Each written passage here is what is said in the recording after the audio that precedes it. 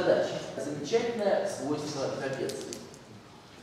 Если есть произвольная трапеция, в которой взяли точку пересечения диагонали, давайте ее обозначим точка О, в которой взяли середину основания, давайте ее обозначим М, середину верхнего основания N, а также провели боковые стороны до пересечения, и это пересечение обозначим P, то вот эти четыре точки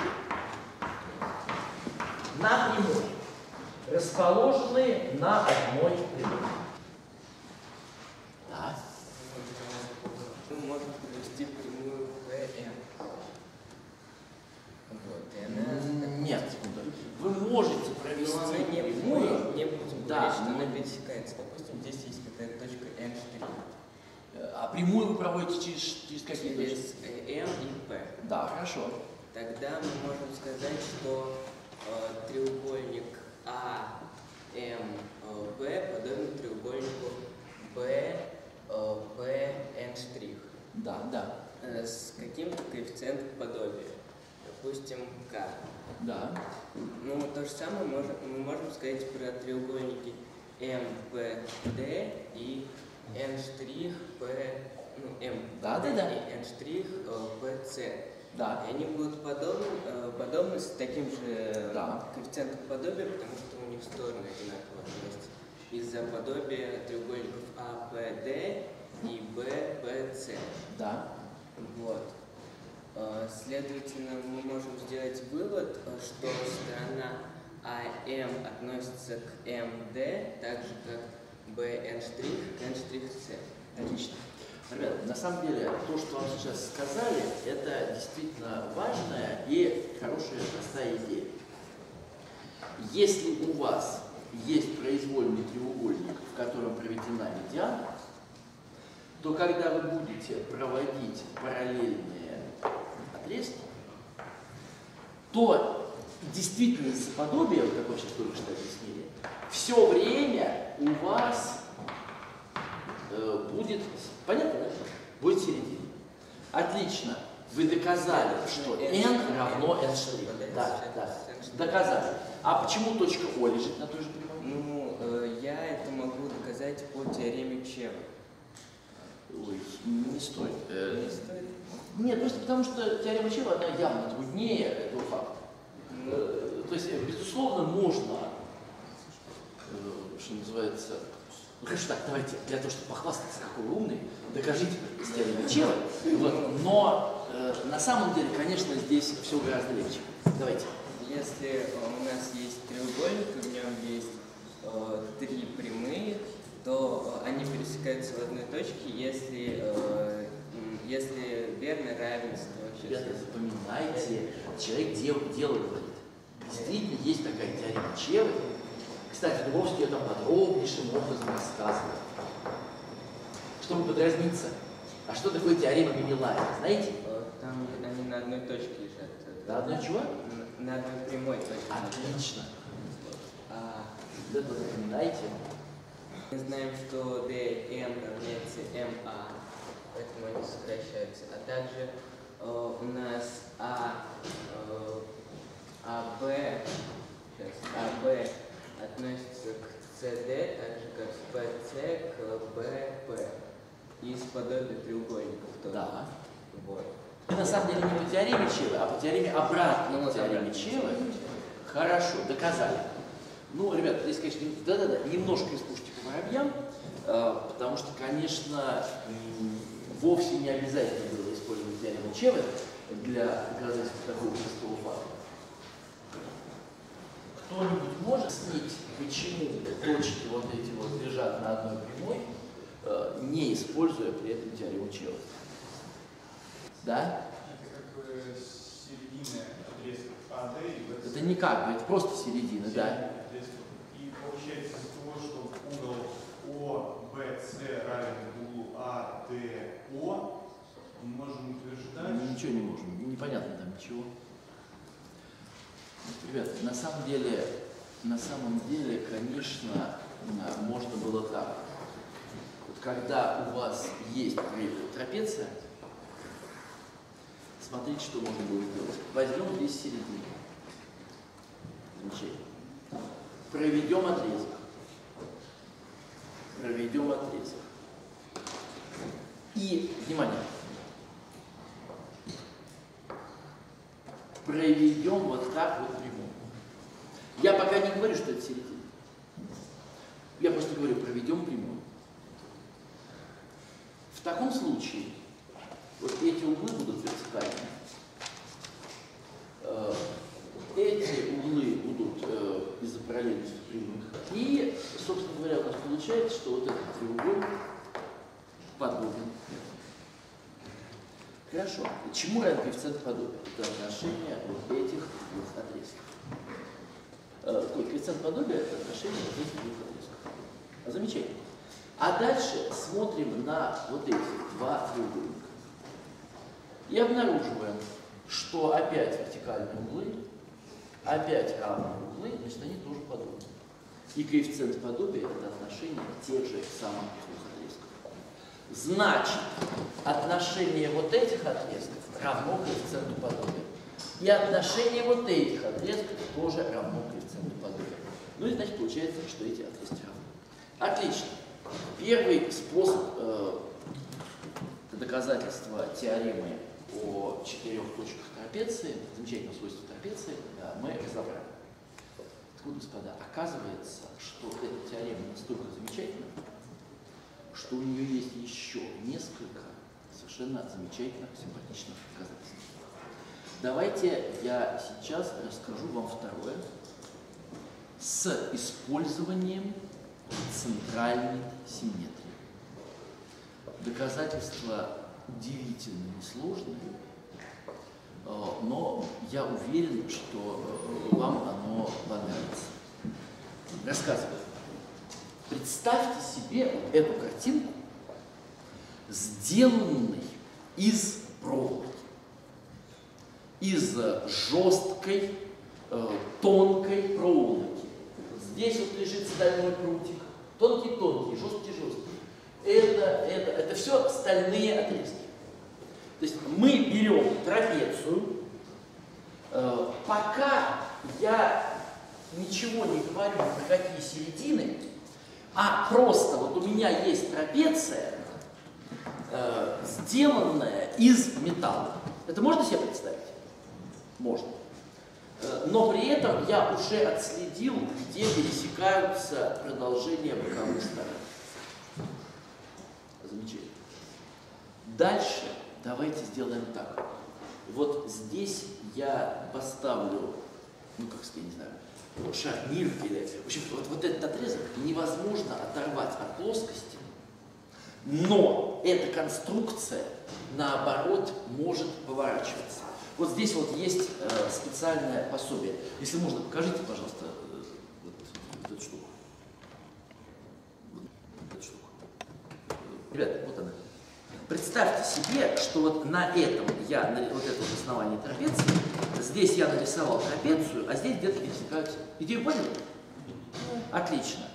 Так вот, держать я буду за вот эту вот точку. За точку, давайте ее обозначим P, э, пересечение продолжений сторон. И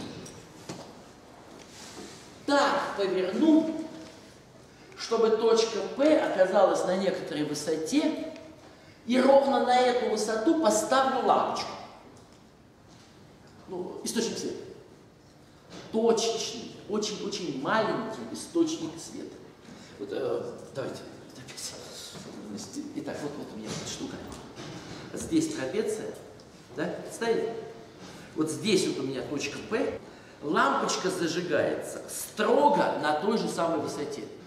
Ни сантиметром выше, ни сантиметром ниже. Лампочка расположена строго на такой же высоте.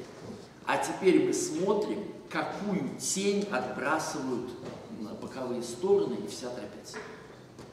Ребята, когда берешь на строго одном уровне лампочку и точку, то изображение будет в бесконечности. Согласны? У нас вот эту точку задрали, э, свет ровно на этом угле поставили, и в результате эти точки остались, и этот отрезок остался. Тень от вот этого отрезка стала чем?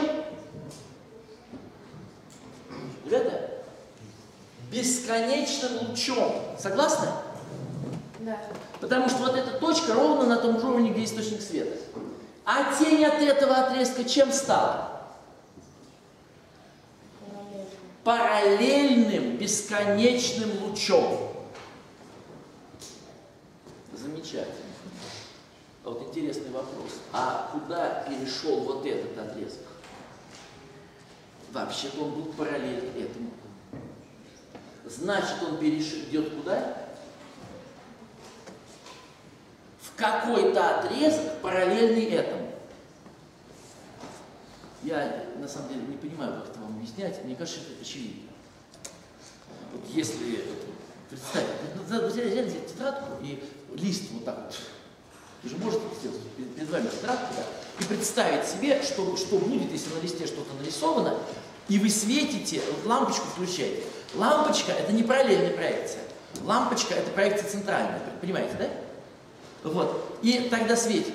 Тогда э, вот, отрезок перейдет в параллельный отрезок. Э, вот, ну, где-то здесь у нас был, э, где-то здесь была лампочка. Вот, замечательно. А теперь вопрос. Во что перейдут вот эти отрезки? Ну как во что? Они перейдут вот в такие отрезки. Отлично, отлично. А во что перейдет середина этого отрезка? Останется на месте, потому что весь этот отрезок остался на месте. А во что перейдет середина этого отрезка? В середину параллельно. В середину этого. А во что перейдет отрезок, соединяющий середины? Понятно, во что? Вот в это. Ну, секунду. А разве мы не знаем для параллелограмма, что если вы берете любой параллелограмм, и у него середины сторон э, двух параллельных, здесь середину и там середину, то этот отрезок будет что? Да не будет он нигде пересекать. Он параллелен этим отрезкам.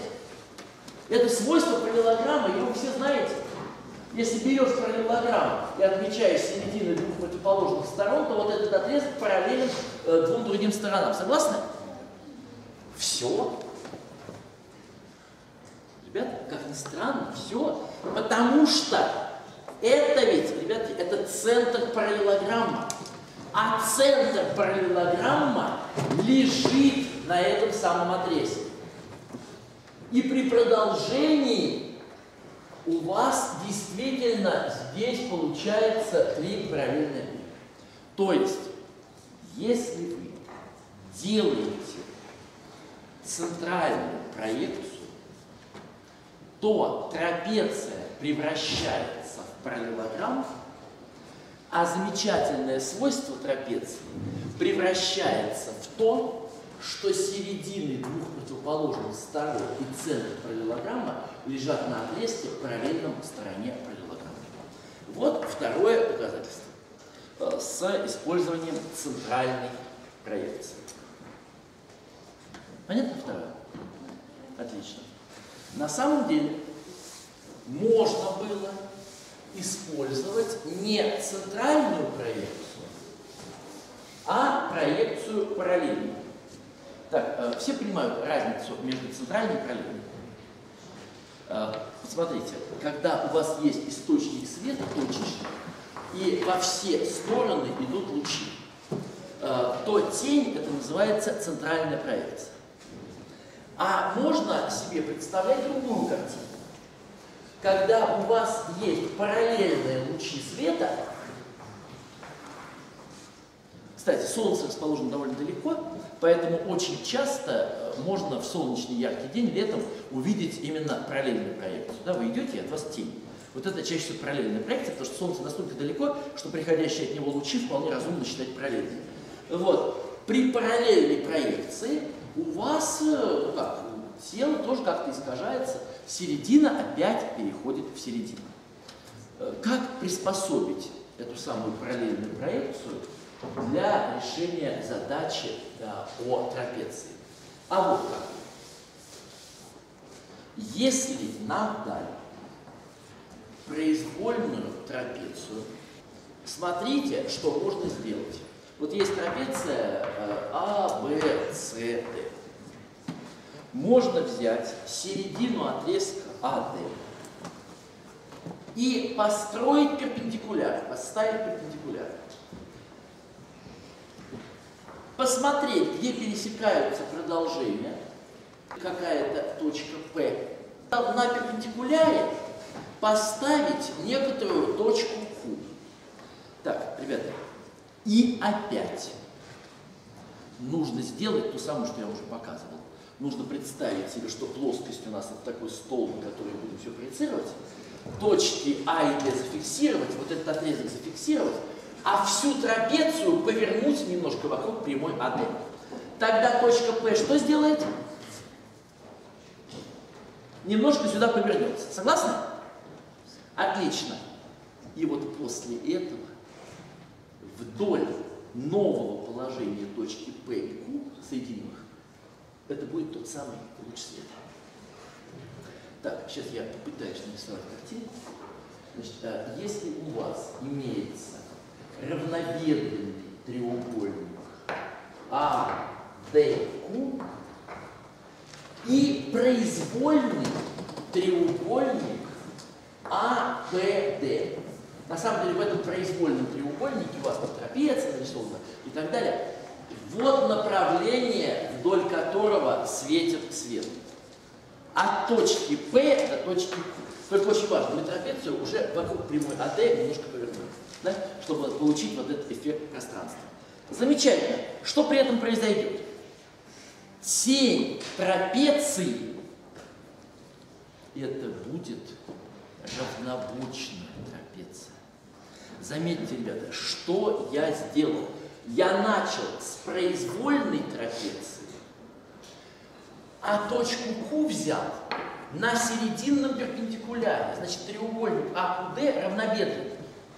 Когда отрезок BC при параллельной проекции э, перейдет, то он перейдет в какой-то отрезок параллельный э, прямой АД. Значит, здесь будет равнобедренный треугольник, в котором расположена трапеция. Значит, мы свели задачу о произвольной трапеции к задаче о чем? О равнобочной трапеции. Но извините, когда у вас есть равнобочная трапеция, то у нее есть такая штука, как ось симметрии, вертикальная ось симметрии. Картинка состоит из двух равных половинок, левой и правой. И при симметрии у вас э, происходит, измен... э, левый и правый меняются местами. И разумеется, если вы возьмете вот такой вот отрезок, диагональ трапеции, то при симметрии относительно этой прямой эта точка перейдет сюда, эта точка перейдет сюда, а точка пересечения останется на прямой. Значит, у вас, соответственно, диагонали пересекаются на этой прямой. Все получилось. Для равнобочной трапеции задача просто очевидная. Для любой трапеции там как-то непонятно, а для равнобочной задача очевидная. А параллельная трапеция сводит любую трапецию к равнобочной. Значит, уже третье доказательство есть. Что? Ну что, пойдем на рекорд? Да давайте. А, ну, давайте, еще два доказательства, хорошо? Ну, ну, ну, ну, легко. А, значит, здорово. А, давайте, одно доказательство будет совсем-совсем-совсем-совсем простое. А, если у нас есть трапеция, давайте вот это основание обозначим А, а, вот это основание обозначим Б, проведем вот так, а, проведем вот так и проведем вот так. А длину вот этого отрезка обозначим буквой X. Так, ну и давайте все вокруг. А, О, С, Б и Д. Господа, я сейчас найду длину отрезка ОЕ. Как его найти? На самом деле очень легко. Я просто говорю, что треугольник АОЕ подобен треугольнику АЦБ.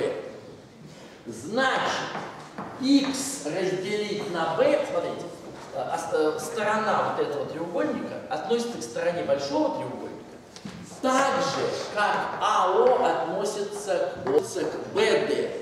ПО относится к БД так как X относится к А.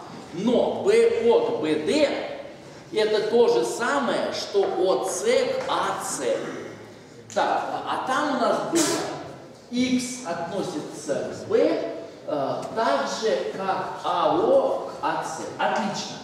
Теперь эти два равенства складываем.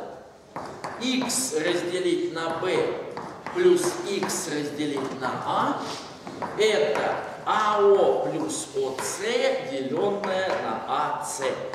То есть единица. Ребята, если умножить на АБ обе части, получится, что BX плюс AX равняется АБ, то есть X это АБ, деленное на А плюс Б. Кстати, э, эту формулу очень полезно помнить. Вот этот вот отрезок ОЕ оказывается равен произведению оснований, деленному на сумму этих самых оснований. Казалось бы, я просто сделал некоторую выкрутку, которая не имеет отношения к нашей задаче о четырех э, точках в трапеции. Потому что, ну какая разница, какой отрезок? А на самом деле нет, смотрите.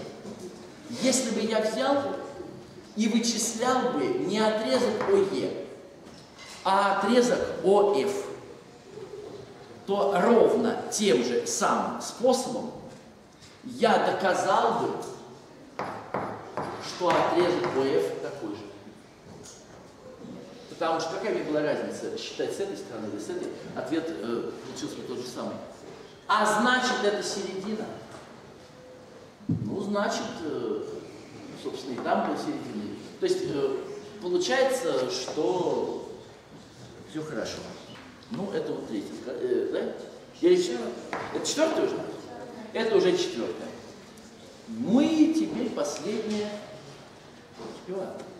Идеально. Все идеально. Последнее, пятое доказательство, ради которого я весь этот рассказ затевал. Ребята, дело в том, что Владимир Натанович читал действительно довольно связанный курс геометрии. То есть он не просто решал отдельные геометрические задачи, а он учил школьников, как при помощи подсчетов площадей, как при помощи подсчетов э, площадей можно доказывать разные геометрические факты. То есть они там брали самые разные задачи и все время вычисляли какие-нибудь площади, и у них все получалось.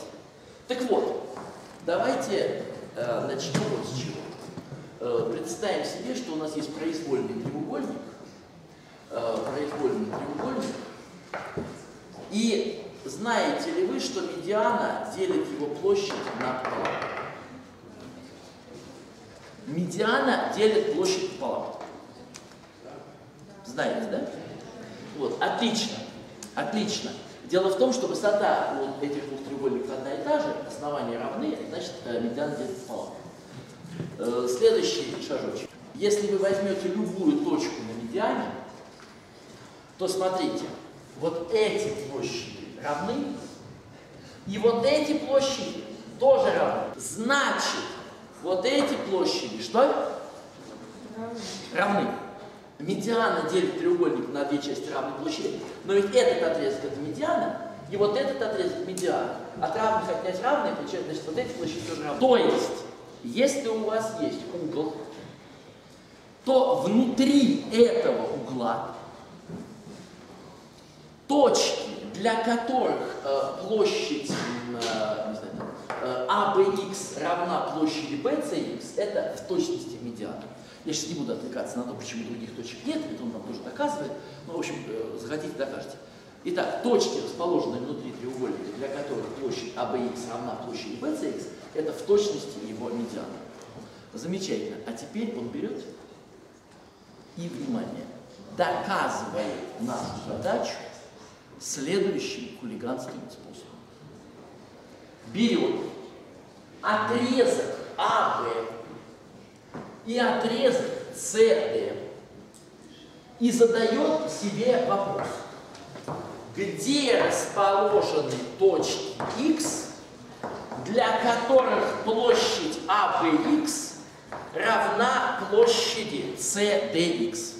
Ну, вообще, есть такие точки, для которых ABX и CDX равны? В случае любой трапеции. Значит, э, итак, э, вот есть у нас треугольник э, А, Б, Д. Э, интересуемся внутри него такими точками, чтобы площадь вот такого треугольника равнялась площади такого треугольника. Замечательно. Оказывается, очевидно, такие точки есть. Например, точка P замечательна тем, что площадь АБП и площадь СДП это просто-напросто нули. Поэтому точка P такая, хорошая. Точка N. Если берешь середину стороны, то смотрите, как забавно получается. Вот эти отрезки равны, высота одна и та же у треугольника, потому что две прямые параллели. Э, значит, по, по формуле основания на высоту пополам эти точки равны. Замечательно. Если берешь точку здесь внизу, то эти площади тоже что? Равны по той же причине. И последний удар. Итак, P, N, M, да, все замечательно. И последний удар. Почему, когда берешь трапецию, э, то вот эти площади будут равны? А очень просто. Потому что если к ним обеим прибавить еще вот эту, то надо будет доказать равенство этой площади и этой. Но высоты у этих треугольников равны, а основание одно и то же. Значит, P, N, M, а также точка О, они все удовлетворяют вот этому замечательному равенству. Ребята, а вот дальше я не буду вам объяснять, почему для любых двух отрезков множество точек, для которых э, выполняется это равенство, это на самом деле прямая. Ну, если честно, это не прямая, а две прямые, но это вот э, кому интересно, посмотрите.